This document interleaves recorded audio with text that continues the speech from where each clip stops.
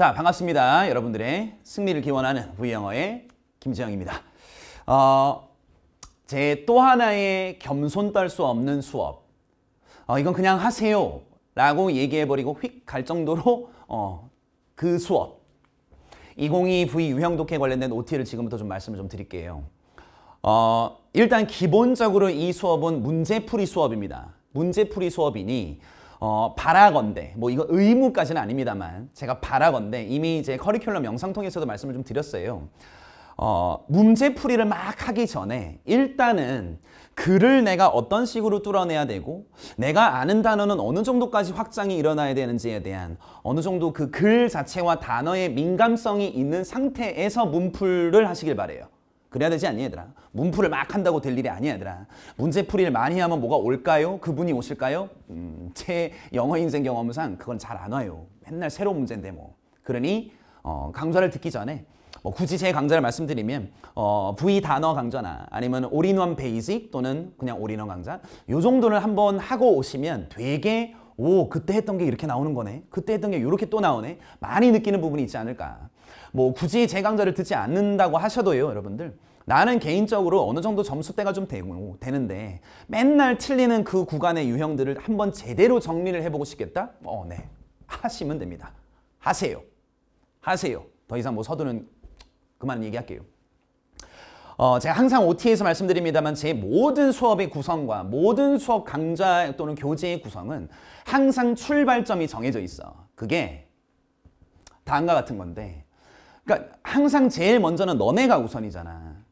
저는 여러분들이 우선이거든. 이렇게 막 감동받으라고 하는 얘기가 아니고 평소에 여러분들이 유형 독해 문제집 같은 거를 사셨을 때 여러분들이 하는 행동의 모습들을 내가 십수년 동안 봤을 거 아니니. 아, 근데 물론 좋게 잘 하시는 분들도 있는데 많은 친구들이 문제집을 전체를 책임을 못 지더라고. 아, 아시는 분들 아시겠지만 유형 독해 문제집 있잖아요. 뭐 이제 뭐 뭐뭐 CD 음, 아니면 자이 노래 아니면 뭐 마덤 음, 뭐 이런 것들이 있잖아요. 열심히 이제 사긴 사는데 두께가 거의 한 브릭만 하죠. 거의 벽돌만 하죠. 풀다가 앞에서 이렇게 좀 풀다가 중간에 또 도표나 뭐 심경은 괜히 또 안 풀어도 될 것 같아서 건너뛰다가 그러다가 갑자기 또 뭐 이제 고3 되는 친구들이나 고2 되는 고, 고2, 고3 친구들 같은 경우 학교 다니는 친구들은 갑자기 또 내신 기간이 다가오니까 또 중간에 잠깐 멈췄다가 또 다시 공부하려고 하니 뭐 어디서부터 해야 될지 모르겠고 이런 고민들 있잖아. 한 번에 깔끔하게 네가 원하는 유형들을 제대로 한번 쭉 뽑아냈다라고 하는 게 없이 자꾸 좀 지지부진하다고. 자, 그 첫 번째 고민이거든. 자, 첫 번째 다시. 요 고민이라는 즉슨 어, 되게 지지부진한 거. 또는 교재 자체가 되게 애매해져 버리는 것. 끝낸 것도 아니고 뭐 안 끝낸 것도 아니고 이런 느낌이 있죠. 그래서 제가 여러분들한테 이제 이 V도 유형 독해 같은 경우는 일단은 빠른 속도로 네가 진짜 해야 되는 유형을 한번 쭉 제대로 짧은 기간에 좀 정리하자라고 하는 게 제일 첫 번째 목표였고요. 두 번째는 어 이게 사실 제일 중요하거든.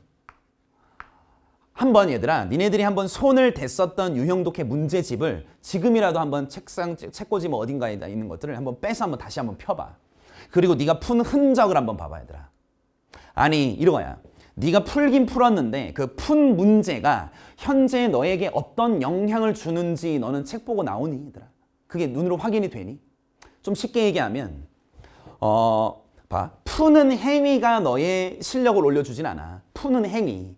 풀고 나서 아, 이 지문을 맞았던 틀렸던 문제 유형 맞췄던 틀렸던 이 문제 자체에서 내가 애매한 구간을 혹시 있지 않았나 아니면 잘 안 되는 부분이 있지 않았나 라고 하는 것들을 다시 재탕에서 봤었을 때 그게 한눈에 확 하고 들어와야 되는데 예상컨대 대부분의 여러분들의 문제집의 흔적은 그냥 푼 흔적들 채점의 흔적들 단어 몇 개 써놓은 거 끊어 읽기 정도.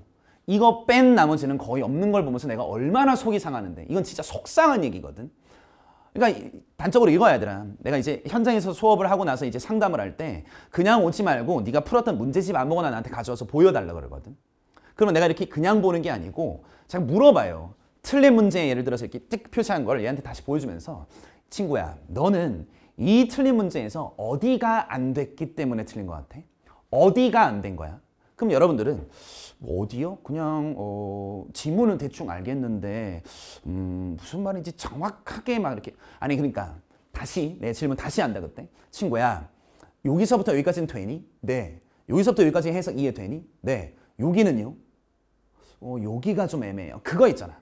너 어디가 안 됐는지를 네가 다시 문제집을 폈을 때 확실하게 네 눈에 확 다가올 수 있게 만들어놨냐고.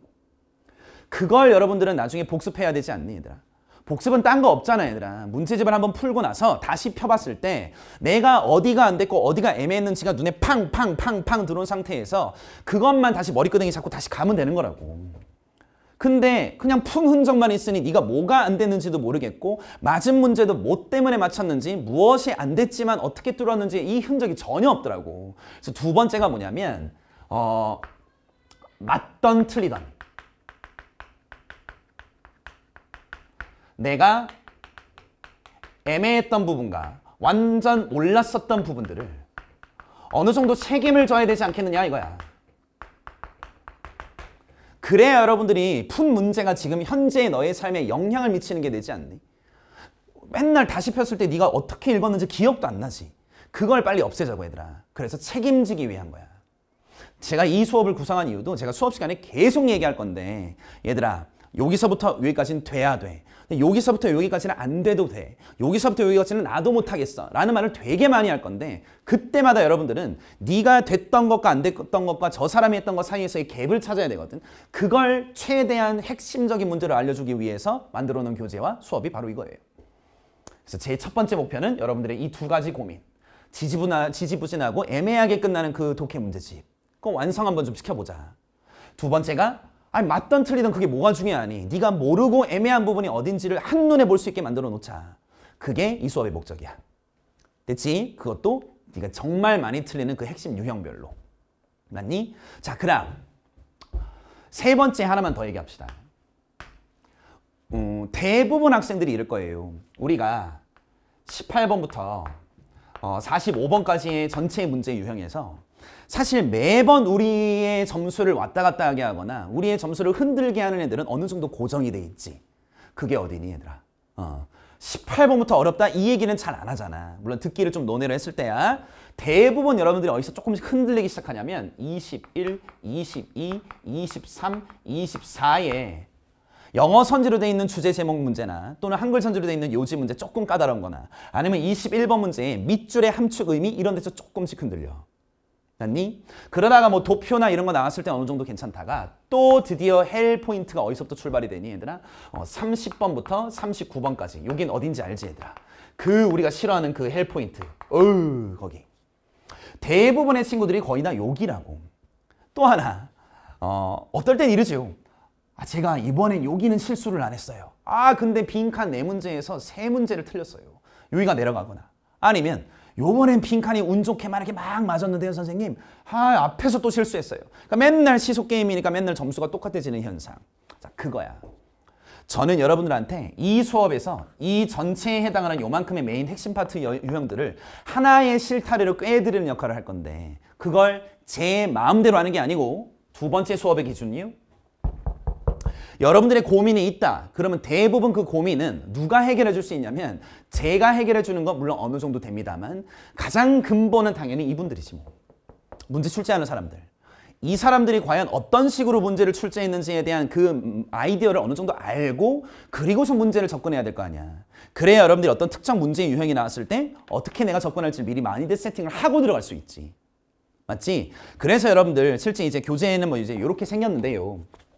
제가 매 챕터에 해당하는 앞쪽에다가는 항상 여러분들이 볼 수 있도록 교육과정 평가원에서 최근에 나온 학습 안내서는 어떤 식으로 문제를 풀게 해놨는가를 제가 좀 같이 잡아드리고 문제를 풀 거야.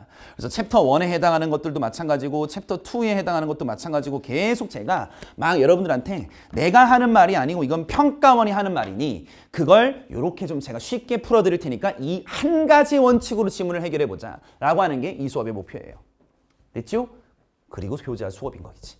그치? 자, 이게 이제 여러분들의 가장 큰 고민을 그냥 원칙적으로 평가원이 원하는 대로 해결할 수 있게끔 실타래로 꿰우는 여덟 가지 유형을 다루는 문제풀이 수업입니다. 그래서 뭐 아까도 잠깐 보셨으니까 알겠지만은 교재에 이렇게 제가 적어놨어. 하나를 알면 여덟을 알 수 있다. 이게 여러분들이 좀, 좀 같이 똑같이 되셨으면 좋겠다는 부분인데 그 부분을 설명을 좀 드릴게요. 봐봐. 말씀드린 것처럼 제가 이렇게 한 8가지 유형에다가 미니 모의고사 테스트, 그러니까 미니 테스트 두 개 정도를 좀 수록을 해놨어요. 근데 제가 이렇게 여덟 개 유형을 그냥 선택한 게 아니고 사실 이런 느낌이 있다, 얘들아. 어, 지문은 그대로인데 이 지문을 어떨 때로는 어떨 때는 주제 제목 요지로도 만들 수 있고 어떨 때는 이걸 빈칸으로도 낼 수 있고요. 때로는 똑같은 지문인데 순서 삽입으로 낼 수 있다. 선생님들은 그걸 할 수 있어. 변형 문제를 내시면서. 그거 그 안에 담겨진 의미가 뭔지 아니 얘들아? 사실 지문은 똑같아도 유형적으로는 크게 사실 다른 유형처럼 보이지만 연결이 돼 있다는 소리거든. 큰 차이가 나진 않는다는 거야. 물론 약간의 접근의 방법 차이는 있어. 그건 제가 수업 시간에 다 말씀드리는데 자꾸 여러분들이 맨날 뭐 뭐 뭐 독해 책 이렇게 하나 사가지고 그 십수개 거의 한 스무 개 정도 넘을 거야. 그 스무 개 정도 넘는 유형들을 개별적으로 공부를 하니까 너무나 공부 양이 많아지는 거지. 실질적으로 여러분들이 공부해야 되는 양은 하나가 되면 다음이 해결되고 또 하나가 되면 그 다음이 해결되고 그 다음에 뭘 공부하면 그 다음에 해결될 수 있게끔 하나로 꿰어야 된단 말이야. 자, 그걸 이 수업에서 할 건데요. 어, 대략 제가 이렇게 수업을 할 겁니다. 첫 번째 챕터 1에서는 대입학, 소위 주제, 제목, 요지 이런 애들을 좀 다룰 건데 그 중에서도 일반적 문제 말고 어, 영어 선지로 되어 있는 주제, 제목, 요지를 주로 좀 많이 얘기를 할 거예요. 주제, 제목. 그리고 이 파트에서는 제가 사실 문제풀이도 합니다만 주로 중점적으로 할 건 뭐냐면 얘들아 주제, 제목, 요지 문제를 잘 풀기 위해서 뭘 잘해야 되니? 결국 글을 잘 읽으면 돼. 이 글이 어떤 식으로 쓰여져 있는지에 대한 기준 잘 읽으면 되는 거거든. 그래서 제가 요거는요. 물론 문풀도 합니다만 얘는 공부를 좀 할 거예요. 공부를 할 겁니다.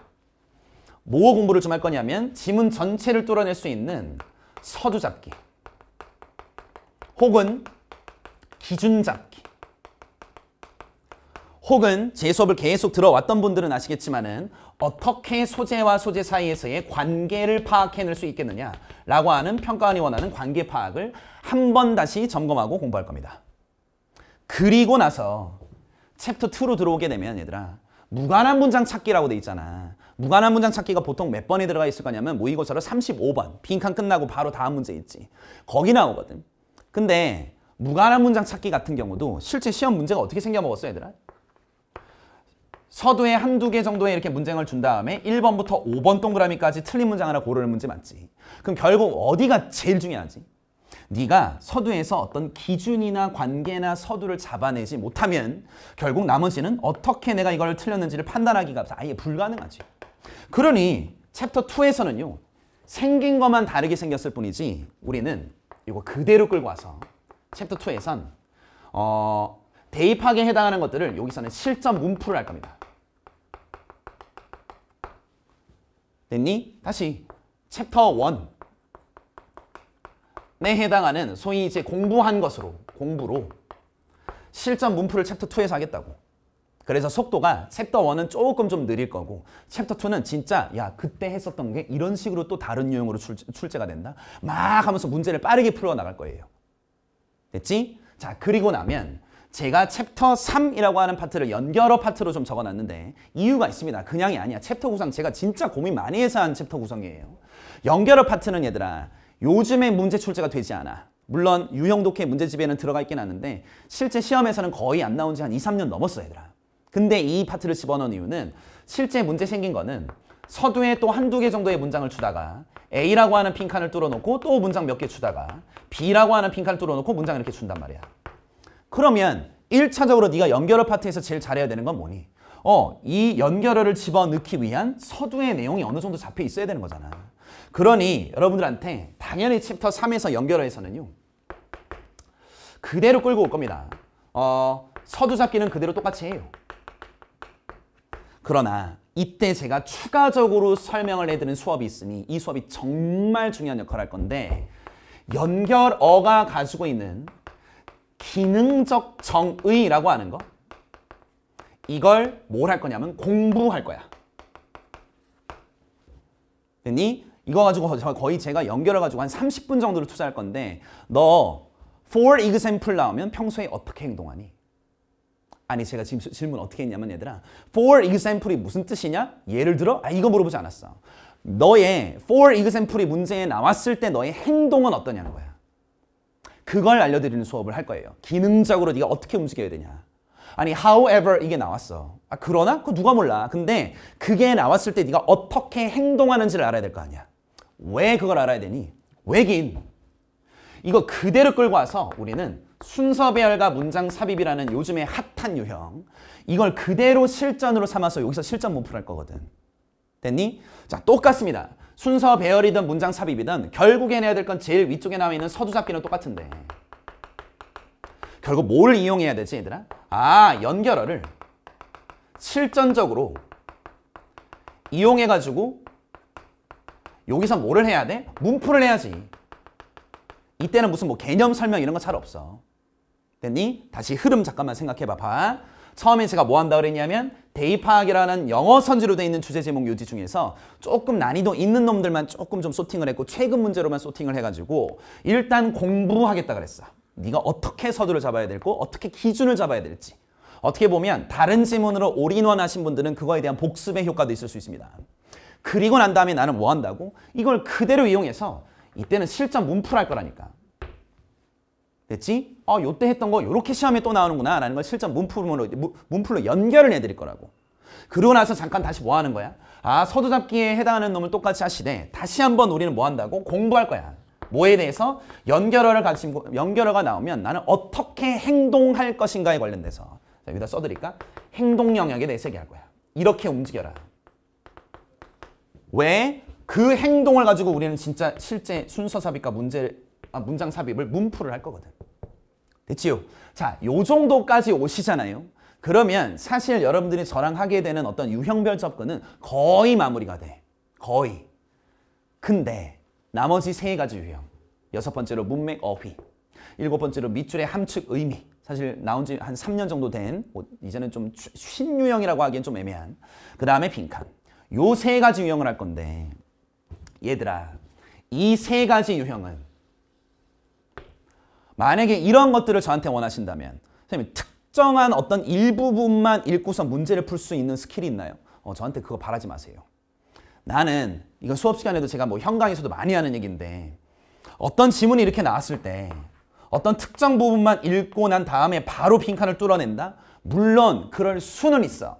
그런 문제도 있고요. 그렇게 설명을 해줄 수도 있어. 근데 이 수업 들어와 보세요. 그렇게 안 되는 문제들이 허다합니다. 그리고 저는 그 다음에라도 연습은 뭔가 특정 문장만 읽고 문제 푸는 뭔가 스킬적인 접근 그럴 수 있는데 연습은 근데 니의 인생이 걸려있는 수능장에서 진짜 수능장이야. 거기서 빈칸 네 문제를 제대로 읽지도 않고 오케이 여기 읽고 여기 안 읽고 여기 읽고 오케이 요거 해서 어 정답 요거 하고 깔끔하게 넘어갈 수 있는 과연 그 깡이 있을 수 있는 분이 몇이나 될까? 왜냐면 저도 그렇게 못하거든요. 얼마나 반전이 많은데 무슨 뭐 하우에버가 나오면은 뭐 그것만 읽고 푼다 나 모르겠고요. 나중에 저랑 문제 풀면 아시겠지만 however가 없는데 역접으로 뒤집히는 케이스 되게 많고요. however가 나왔지만 역접이 아닌 케이스도 되게 많고요. 뭔 말인지 알겠니? 그러니까 저한테 그런 스킬을 만약에 배우겠다? 아니야. 이 수업은 그거 아니고 그냥 정도를 걷는 거야. 평가원이 시키는 대로 문제 푸는 거라고. 그 얘기를 지금 내가 왜 하냐면 특히 여섯 번째, 일곱 번째, 여덟 번째 이 유형은 스킬 모르겠고 얘는 정면 승부야. 정면 승부 거셔야 돼. 아니 어휘 문제를 네가 아이 보통 밑줄에 1번, 2번, 3번, 4번, 5번 이렇게 쳐져 있는데 틀린 어휘 고르는 거 에이, 보통은 서두가 잘 안 나오고 보통 한 4, 5번, 3, 4, 5번 근처에 있어. 웃기고 있네. 최근 평가원 문제에서 여러분들 2번 선지가 얼마나 많이 나오는지 아니? 응? 아, 이러지 마시자고 얘들아. 어, 정면 승부 거셔야 돼요. 네가 처음부터 어떻게 글을 읽는지에 따라서 선지가 아 뭐가 정답이구나 이게 나중에 드러나게 될 거라고 얘들아. 정면 승부 거셔야 된다고. 밑줄의 함축적 의미 마찬가지죠.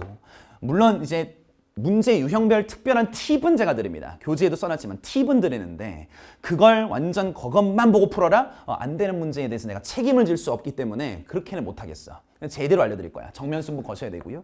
빈칸 빈칸을 여러분들 단기간에 어떻게 탁 풀어낼 수 있는 어떤 어떤 뭐 타다라는 느낌? 물론 그렇게 할 수 있게끔 내가 교재를 만들 수 있어. 아이 진짜로 여러분들이 막 한 열 문제만 고런 문제만 이렇게 할 수 있게 열 문제만 탁 만들어 놔서 얘들아 야 여기 버려. 야 여기만 읽어. 정답 나오잖아. 보이니? let's go 이럴 수는 있다니까. 나도 할 수 있어요 그거. 근데 그러지 마시자고. 그렇지 못한 문제들이 훨씬 더 많으니까. 그게 여러분들 등급을 왔다 갔다 할 거니까 아, 만약에 그게 맞으면 평가원이라는 것도 있으면 안 되지. 평가원의 학습 안내서에서도 서두는 읽지 마시고 항상 하우에버만 문제 읽고 푸는 유형이 어, 빈칸이다. 이러면 되지. 근데 그렇게 안 하잖아요. 됐지? 네. 그런 느낌이에요. 그래서 여기는 청명승부 거는 곳이고 그리고 이것이 다시 끝, 끝이 나버리면은 여러분들한테 미니 테스트로 여러분들한테요. 요렇게 이제 여덟 개 유형 중에서 요 연결어는 최근에 나오지 않기 때문에 요것만 제외하고 나머지 문제로 실제 시험장에 나오는 세팅으로 해가지고 그대로 여러분들 실전 모의고사처럼 풀 수 있게끔 미니 모의고사 두 회를 잡아놨습니다. 됐죠? 어, 요렇게 해서 이제 저랑 간다고 보시면 될 거고 보시는 것처럼 이 여덟 개 문제의 유형 안에 여러분들이 많이 틀린 유형들이 거의 다 대부분 들어가 있을 거예요. 맞지? 어, 일단 뭐 수업에 이제 들어가게 될 건데 제가 부탁드리고 싶은 말씀만 좀 얘기하고 끝을 내겠습니다. 미안해 얘들아. 갑자기 여기 있던 유선 마이크가 떨어져가지고 고렁콩콩 소리 나가지고 잠깐 편집점이 있었습니다. 어, 뭐 뭐가 됐든 어쨌든 해드리고 싶은 이제 마지막 부탁 여러분들이 했으면 좋겠다라는 마지막 부탁의 말씀만 드리고 좀 마무리를 할게. 어, 수업을 들을, 들을 거라고 이제 마음을 먹으신 분들은요. 첫 번째로 여러분들 꼭 하셨으면 좋겠는 건 제가 수업 시간에 몇 번 잔소리를 하겠습니다만 어, 너와 저 뾰족한 사람 사이에서 사이에 갭을 찾기 위해서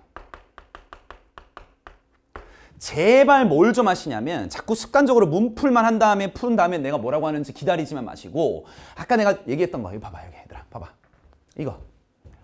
너네의 유형 독해 문제집을 풀었을 때 다시 봤을 때 네가 뭐가 안 됐고 뭐가 애매하는지를 전혀 표시하지 않고 그리고 옛날에 그뭐 어떻게 됐었고 뭘 못했었지? 이렇게 돼버리면 이젠 더 이제는 안 돼 진짜. 적어도 이 문제집은요 네가 애매했거나 안 된 부분들을 푸는 과정 안에서 조금이라도 의심되는 부분이 있다면 그게 단어가 됐든 아니면 문장이 됐든 순간적으로 표시하세요.